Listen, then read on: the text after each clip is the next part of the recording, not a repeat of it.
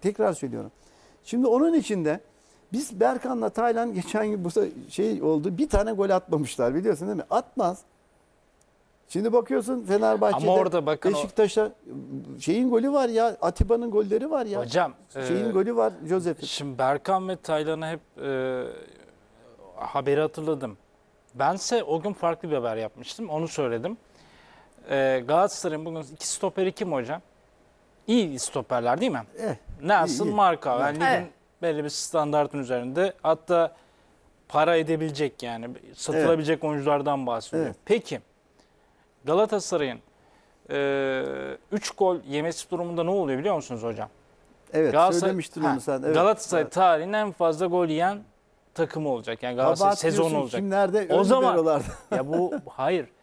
Bu kadar iyi stoperlerim varken nasıl tarihin en fazla gol yiyen sezonu oluyor? Bu arkadaşlar sadece hücumda değil o zaman savunmada da biraz Ya problemliler. işte o kadar abi. Ya, yani ben de hani öyle bir Şimdi bakış bravo açısı. bak Nevzat güzel söyledin, güzel yazmışsın. O daha evvel de söyledin. Şimdi Berkan'ı şey maçında, Barcelona maçında anlatıyorum. Evet. Şimdi adamla gidiyor. Çok güzel şeyi var. Mantalitesi, felsefesi. Adamla geldi. O şey gol kaçırdı bir tanesi. e, De Jong değil mi? Karşı karşıya. Yetişemedi. Yani o deparı attı tamam mı? O şeyi yetişemedi. Yani orada mesela o, o deparda daha süratli, çabuk biri olsaydı ama felsefe olarak adamı kovaladı. Karşı karşıya biliyorsun değil mi? Oradan adam dışarı attı. Arkadan ilk golde şey zaten e, Marco çalımı yedi. Bu da çalımı yedi. Şimdi biraz daha savunma şeyi olsa mantalitesi iyi. Bak 6 numara gibi oralarda ama. Çocuk oralara geliyor. Ama belli bir şey var. Ee, orada e, Hocam, oyun karakteri e, var. valla kusura Onun bakmayın, için e, tamam aynı şeyi milyon- söylüyor işte. 4 Ya milyon fark euro- etmiyor abi. 4 Altı milyon euro değil şey. de 400 bin euro olsaydın bir şey demezdim. Alternatif derdim. Galatasaray Arkadaş kadrosunda. ama adam. Ama E sen o zaman ben sana dört- Gomez'i koy oraya o zaman. ben sana 4 Aynı şey. Ben sana 4 milyon euro veriyorsam O sen golü bir kere önleyeceksin diyor. Ekstra iş yapacaksın. Ya yapıyor Sen bak. Galatasaray formasını giyiyorsun. Hayatım bir şey söyleyeyim. Bak bir şey anlatıyorum sana. Adam diyorum ki o felsefe var, geliyor. Oraya gidiyor. Ama yetmiyor. Gücü yetmiyor. Çabukluğu yetmiyor. Sürati yetmiyor. Kuvveti yetmiyor. Yani o savunma ile ilgili Niye? orada Gay- yetmiyor. Ben size söyleyeyim gayet de kuvveti Yok, yerinde hayır, ya maşallah. yetişmedi. Maşallah her maç Ya 12-13 kilometre koşuyor. Koşma çok başka. koşuyor. Ya başka bak koşma başka. O çabukluk, oradaki sürat, o şey patlayıcı gücü eksik. Yani şeye göre eksik. Yani bir altı numara mesela Melo olsa o golü yedirmez. O pozisyonu Evet, sokmaz. tabii. Anladın Hocam mı? ben Onu mesela anlatıyorsun. söylüyorum. Ben büyük e, yani Ya büyük sen adamın Galatasaray, neydi başka Fenerbahçe, Beşiktaş, Trabzon. Ya elbette bütün oyuncular değerlidir, şudur budur. Elbette zaten sporcu olmak e, bir takım fiziksel özellikler gerek e, gerektirir. E, kabul ediyorum. Yine teknik e, bir takım e, farklılıklarınızın olması lazım. Ama ya büyük takım oyuncuların biraz da bence zeka şeyin üst düzeyde olması lazım. yani. Zekası var. Bak ne diyorum Oyun sana, adam- zekasının. oyun zekası Mesela var. Arda Güler. Ya Arda büyük takım topçusuyum diyor. Ben Bağırıyor. büyük takım topçusuyum diyor. Yani e, büyük takımda sadece fiziksel özellikleriniz, atletik özellikleriniz de değil. Biraz da zekanızla bulunmanız lazım. Ya bir şey söyleyeyim bak. Diyorum ki sana Berkan kafa olarak Ya çok güzel. ilgili değil benim. Anladım. Yani genel kafa bir olarak, tamam genel. tespit Kafa olarak yapıyorum. felsefe olarak çok iyi şeyler yapıyor ama Zaten yetmiyor. Avrupa Avrupa Ya- altyapısı. Bilmiyorum. Yetmiyor ama. Onun için söylüyorum. Yani bir altı numara alsaydı. Yani orada bir Melo olsa, Fernando olsa atıyorum. ya, Şimdi Fernando. aklıma gelmedi. Yani onlar Souza. Ha, yani bunlar olsa tamam mı daha değişik olur. Şimdi bunlardan biz bir şey bekliyoruz.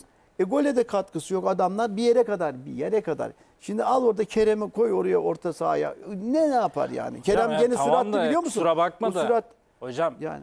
Zayt atıyor. 8 tane attı. Evet. Crespo atıyor. Josef de Souza atıyor. Atıyor bu Zayt'la bak Crespo mücadele ediyor bir de gidiyor gol atıyor. Şu İşte Zayt keza Üç tane koşan adam var orada. Şimdi diyeceksin bunlar koşmuyor mu? Crespo çok koşuyor. Bravo. İlk önce dedim ya, ilk önce dedim ya Evet. bu Fenerbahçe'nin içinde. Öz eleştirisini Ama yapıyorsunuz yapıyorum. hocam. Mert Hakan. Yani üç tane orada şey yapan bir gücü olan şey. Ama bunlar e, git gole gitme. Belki hoca göndermiyor. Bilmiyorum. Ben olsam taktik icabı bunlar. Ben olacağım da benim futbolcum o ceza sahasına girmeyecek. Şut atmayacak. Ya futbolcu üç tane iş yapar. Gol atar, gol attırır, gol attırmaz. Bak üç tane. futbolcu felsefe olarak bunları bir kere öğreteceksin. E gidecek bu golü atladın. Arkadaş Be- Berkan Taylan ya bir tane golünüz yok kardeşim. Ya hayır bir tane mesela hocam bir tane gidersin bir e, kenar ortada bir kafa vurursun direğe çarpar bir şey böyle bir pozisyon da hatırlamıyorum. Yani yanlışlıkla olsa yani Yok ama- girersin bir e, tehlike yaratırsın. Böyle Şimdi bir şey bu de hafta yok. atacaklar bak bizi dinliyorlar ya. Bakalım bu hafta- akşam nasıl bir karşılaşma Biraz zor, bizi Ne olacak bekliyor. hocam? Gol Zor atsan Siz rahat kazanır diyebiliyor Yok, musunuz hocam diyorum, Galatasaray yok, için? yok.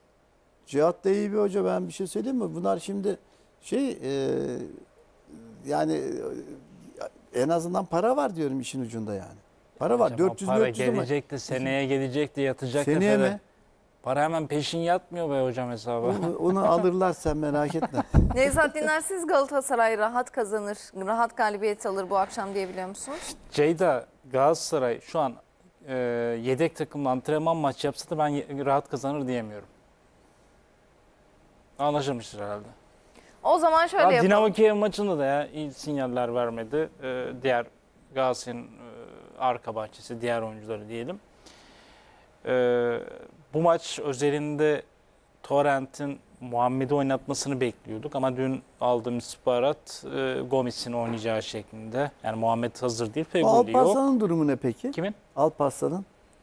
Hocam sizde Galatasaray, ne, Beşiktaş'a Necip, Galatasaray Alparslan yani Ya böyle değişik ya. oyuncuları Ya tutuyorsun. bir dakika ya. ya Fener'de de kim Allah. var hocam? E bir şey söyleyeceğim ya. E bunlar ne yapıyor diyorsun bak deminden beri. Ya Denenebilir ama yok Ya denenebilir. Allah Allah. Ya. Alparslan kötü bir adam değil ya. Alparslan stoper de oynuyor. ön azından libero oynuyor, altı numara numara oynuyor. En azından oynuyor. orada da oynamışlığı var çünkü. Evet. Oynar. Orada stoper de oynuyor. Esas orada başladı Evet. kariyeri orta saha. Elazığ'da da oynuyor. Yani oynar niye bir de, bir de onu denesin. Ne oldu? Bununla bir şey olmuş herhalde aralarında falan yani. Öyle Yok duyuyorum ya. ben. Ha? O oynatsa daha önce de oynatılırdı. Yok yok. Ya bir maç oynattı onu şeyle oynattı. Van Aal'la oynattı. Tamam mı? O, o da fiyasko olmadı. Bir de çocuk penaltı falan yaptırdı. Ya mesela ona da bir şans A- verse birkaç şimdi maç. Alparslan'da bence problem. Torrent biraz daha seri oynamaya çalışıyor. Alparslan e, o çabukluğa sahip bir oyuncu değil. Ya çok daha kuvvetli. durağan bir oyuncu. Ya bir şey söyleyeyim sana. Bir depar oldu, attı o bir, bir maçta. Gitti şey topu ta nereden aldı kurtardı. Ee, Muslera gitti tebrik etti onu. İnanılmaz süratli. Uzun mesafede. İnanılmaz diyorum çok kuvvetli. Saha içini konuştuk. Şimdi e, biraz saha dışına çıkalım. Galatasaray e, eski teknik direktörü Fatih Terim dünyanın önde gelen e, spor haber siteleri arasında yer alan Diatletik'e röportaj verdi. O röportajın satır başlarına bir birlikte bakalım. The Athletic'e özel bir röportaj veren tecrübeli çalıştırıcı bu sezonun başında Galatasaray'da bir devrim olması gerektiğine karar verdim. Kolay olmayacak dedim. Ayrılık kararı beklediğim bir şey değildi. Şimdi zihinsel olarak rahatlamak için biraz zamana ihtiyacım var ifadelerini kullandı. Geleceğiyle ilgili soruyu yanıtlayan Terim, geleceğim hakkında karar vermedim ama yakında karar vereceğim. Şu an bilmiyorum. Kazandığım şampiyonluklardan çok daha önemlisi şu. Türk futboluna önemli bir miras bırakmak istiyorum. Bir oyun, bir mentalite. En gurur verici şey benim için bu olacak, dedi. Galatasaray'dan başka Türk takımı çalıştırma ihtimaline imkansız cevabını veren 68 yaşındaki teknik direktör, Galatasaray tek yönlü bir bilet. Başka bir Türk takımı için çalışmayı hayal edemiyorum. Bu aileye dönüş gibi. Galatasaray beni istediğinde hiçbir zaman hayır demedim. Galatasaray benim yuvam, ailem şeklinde konuştu. Teknik direktörümüz sevgili Fatih Terim 5 yıllık bir imza atıyor. Hayırlı ve uğurlu olsun. Milli takımı çalıştırmanın Galatasaray'da görev yapmaktan çok daha zor olduğunu söyleyen Fatih Terim, milli takımdayken tüm ülkeden sorumlusunuz. Renkleriniz kırmızı beyaz, kırmızı sarı değil. Herkes seni sorgular. Bunu hissedersin. Galatasaray'da sadece Galatasaray taraftarına karşı sorumluluğunuz var. Bu sorumluluğu hep hissettim ama baskıdan hiç etkilenmedim. Omuzlarım bu baskı yüzünden asla düşmedi açıklamasını yaptı. Manchester United'ın efsane menajeri Alex Ferguson'ı örnek aldığını belirten deneyimli teknik adam, Alex Ferguson futbol tarihinin en önemli isimlerinden biri. Başardıkları nedeniyle hocalığı ve yönetim tarzından etkilendim. Türkiye'de Alex Ferguson gibi aynı takımı 27 yıl yönetmek imkansız ifadelerini kullandı. Fatih Terim gittiği günden bu yana ilk kez açıklamalarda bulundu. Ayrılık kararı beklediğim bir şey değildi dedi. E, zihinsel olarak rahatlamak için biraz daha biraz daha zamana ihtiyacım var dedi ve en çok konuşulan açıklaması da e, Türkiye'de Galatasaray dışında başka bir takım çalıştırmam dedi ki bu da beklenen bir durum sanki. Sürpriz var mı açıklamalarında? Açıklamalardan çıkan sonuç sence ne? Bilmiyorum. Ne? Size sorayım ben. Sizce Ya şimdi bir kere diyor ki hiç beklemiyordum diyor ayrılmayı yani. Ben, ben hiç Bana göre- uzatmayayım söyleyeyim ben hocam siz yaptım. ben söyleyeyim tespitimi yapayım siz devam edin hocam yoruma. Bakayım. Bu söyle. açıklamalardan daha tetkiye e, keşke Türk basında da hocayla biz konuşabilsek, e, bu röportajları bizler de yapabilsek. E, verdiği röportajdan çıkan sonuç göreve hazırım. Devam edebilirsiniz. Doğru, doğru. Ya zaten diyor ki haksızlık yapıldı bana diyor ya. Beklemiyordum diyor. Haksızlık demiyor ama beklemiyordum diyor. Bak bir şey söyleyeyim mi? Galatasaray'ın ne zaman Ben- bana ihtiyacı olsa para dahi Ben ya gene gelir. Bak şuraya yazıyorum Galatasaray gene gelir. Ama iki sene sonra ama üç sene sonra. Ama bu önümüzdeki yönetimi almaz. Ama ilk gelecek yönetim Son imza değilmiş demek ki. değil tabii. Değil tabii ya. Ya daha yapar ne olacak Fatih Hoca? Şimdi bak hepimiz bir hata yapıyoruz. Her geçen günkü rahmetli annem öyle derdi. Aklımı beğenmiyorum derdi. Bir hatalar yapıyoruz, her şeyi yapıyoruz. Eğer öz eleştiri yapıyorsan kendine ki ben yapıyorum yani bir de dinlerim de ya şudur budur. Bana Evet. söylersen dinlerim yani. Ha bakarım bir muhakeme yaparım. Şimdi Fatih Hoca da ben, ya Necip ben- konusunda de- yapmıyorsun hocam. ya, ya, ya ben niye şey yapıyorum biliyor musun işte? E, yeğenine Ben- katılıyorum Hayır, hocam. hayır, ya, ya bırak yeğenim var ya. Bir de çocukları var iki tane. Serdar Aziz konusunda da hocam hep Evet. çok eleştirildi ama şimdi herkes Evet, görüyor. Ne oldu? E, görüyor da kimse takdir ediyor mu? Yok. Evet. Ne oldu? Senin tiserantların, şeylerin, salayların hepsi kenarda. Ya şey, bir şey- bak Bir gün Ben- Necip konusunda da hocamı ya bir şey, hayır bir şey söyleyeceğim. Ya ben demek ki Necip dünyanın en iyi futbolcusu, Beşiktaş'ın en iyi futbolcusu demiyorum. Atiba için söylüyorum ama. Ama Yani- siz de siz de seviyorsunuz. Necip tarzı oyuncuları seviyorsunuz Ya hocam. bir şey söyle. Ya koşan mücadele eden. Necip. Ya neyse. Şimdi adam bak bir de hata yapıyor. Gollü yani ölümcül hata yapıyor. Hiç ona bir şey söylemiyor. Necip diyor ki pas hatası yaptın. Kime yaptı Allah aşkına? Bir de anlatsana ya. Kime nereye yaptı? Neyse hocam biz Ya neyse, Fatih hemen Terim'e dönelim o Evet şey. hocam. Beni dağıtıyorsunuz Nevzat Evet, Dindar bu doğru. konuyu lütfen. Buyurun hocam. Fatih Şimdi Terim'le Fatih devam Hoca göreve hazır. Şimdi diyor ki biraz kafamı dinleyeyim. Esasında bunları da yabancı şey olmasa söylemezdi. Biraz dinleniyor. Şey yapacak. Yaptığı eksiklikleri de biliyordur. Bir daha şimdi Fatih Hoca geri gelse bir daha ben gençleştireceğim falan der mi takımı ya? Demez. Çünkü niye? Ne, yaşlandıracak mı hocam? fark etmez. Be- belki e, başkanla beraber karar aldılar değil mi buna? Tabii. Yani bu, ben böyle bir yola girdim. Şey Oğulcan'ı zaten almışlardı. Barış'ı aldılar değil mi? İşte Berkan'ı Hepsi genç aldılar. hocam, Neyse. genç, hepsi yani, genç. E, E, Patrick Van Aanholt Kerem- hariç. Kerem'i de çıkarttı. Yani piyasaya çıkarttı Fatih Hoca çıkarttı. Nelson'ı aldı. Yani neyse şimdi bir daha bu, şimdi bana göre ne diyordur biliyor musun? Ben hata yaptım diyordur. Beni gençleştirmeyecektim. Al beni kapıya koydular. Öyle diyor zaten. Hiç beklemiyordum diyor. Bir daha daha iyi gelir. Daha tecrübeli gelir. Ha, hoca Daha başarılı olur. Bak hoca hata yaptığını düşünüyor mudur acaba gençleştirme konusunda? Herhalde canım. Bence bugün olsa bugün de aynısını şey Gene yapar. gönderirler. Bugün olsa O bir bugün daha de. Çıkıldağ ve Morutsan'ı transfer eder miydi Fatih'te?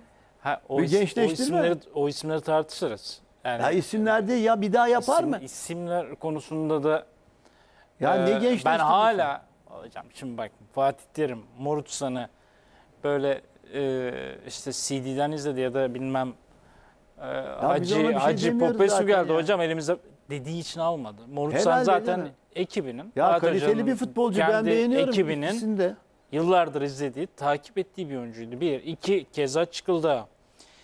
Ben şuna inanıyorum. Fatih Hoca gittiğinde evet tablo iyi değildi ama bu kadar da değildi. Yani bu, bu tabloda da değildi Galatasaray. Ve Avrupa'da iyi bir Galatasaray vardı. Fatih Hoca başarabileceğine inanıyordu. Evet. İnanıyordu. Zaten yani güvenmesi çıkıldığı anında, almaz. çıkıldığı anında Morutsan'da olabileceğine inanıyordu. Ve ısrar eder hoca. O oyuncuları bir şekilde kazanmaya çalışır. Ya bir daha öyle transfer yapmaz. Yani şöyle yapmaz. Daha sağlam yani savunmaya 6 numara alır. Yani şimdi birisi Ha, altı 8 numara birisi on. konusunda katılıyorum. Altı Altı numara numara alır. Yani onu demek istiyorum. Biraz daha gençliğin yerine der ki ya ben, ne var biliyor musun? Ama zaten- yaranamadım der. zaten- yaranamadım biliyor musun? Zaten Fatih Ben bunları Terim, aldım, yaranamadım hocam, der. Fatih Terim zaten devam etseydi devre arasında muhtemelen bir 6 numara transferi. Belki de Getson Galatasaray forması giyiyordu. Evet. Ya Getson da 6 Ya değil. mesela yani. Yani anladım Peki yani.